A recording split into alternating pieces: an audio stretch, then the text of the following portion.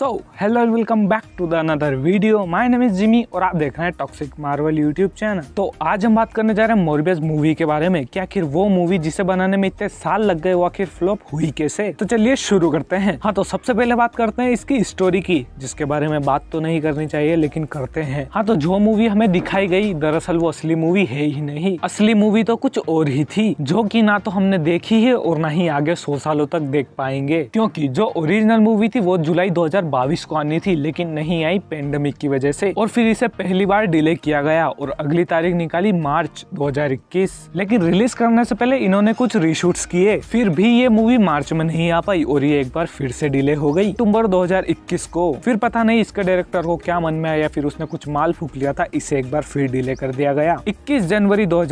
को और फिर फाइनली बड़ी मिन्नतों के साथ मूवी रिलीज नहीं हुई हाँ एक और डिले आया 28 जनवरी को और फिर इसे मिला एक और लास्ट डिले अप्रैल 2022 में क्योंकि जनवरी में नोवे होम चल रही थी कि एक मूवी पैसा कमा रही है कहा इस मोरवियस को डालेंगे तो नोवे होम फ्लॉप चली जाएगी क्या सोच थी सोनी की और यार जितना डिले इन्होंने मूवी रिलीज करने में करा इतना डिले तो एस बैंक वाले भी नहीं करते हाँ तो फिर फाइनली मूवी रिलीज हुई और मूवी फ्लॉप चली गई पता नहीं कौन सा माल फूक के सोनी ने मूवी बनाई है मतलब इतने सारे रीशूट्स और इतने सारे डिलेस के बाद इस मूवी को मास्टर पीस बन जाना चाहिए था जो अभी तक हमने देखी भी ना हो लेकिन सोनी पता नहीं क्या फूकता है हाँ लेकिन सिर्फ यही कारण नहीं है मूवी फ्लॉप होने का मूवी फ्लॉप होने का एक बहुत बड़ा कारण ट्रेलर भी है मतलब ट्रेलर में तीनों स्पाइडरमैन के इतने सारे रेफरेंसेस मिले कि तीनों स्पाइडरमैन के फैंस मतलब स्पाइडरमैन के फैंस तो तैयार ही हो गए थे इस मूवी को देखने के लिए स्पाइडरमैन को इतना रगड़ा गया इसके ट्रेलर में वो भी इसीलिए ताकि इस मूवी की हाइप बन सके तुमने मूवी में स्पाइडरमैन को रगड़ा तो रगड़ा पर कुछ अच्छा सा रेफरेंस तो दे देते हाँ पोस्ट क्रेडिट था लेकिन बिना किसी सिर पैर का मतलब अगर तुम उसके बारे में सोचो तो इतने लूप होल निकलेगे कि तुम अपना सर पटक पटक कर रोने लगोगे कि ये मैंने क्या देख लिया लेकिन मुझे कोई फर्क नहीं पड़ता मैं सोनी से उम्मीद रखता ही नहीं हूँ किसी चीज से उम्मीद रखोगे ही नहीं तो उम्मीद टूटेगी ही नहीं मुझे सिर्फ सोनी की एक ही मूवी अच्छी लगी थी वेनम आई मीन दूसरी भी है लेकिन सुपर हीरो में बता रहा हूँ और सबसे बेकार मूवी लगी थी वेनम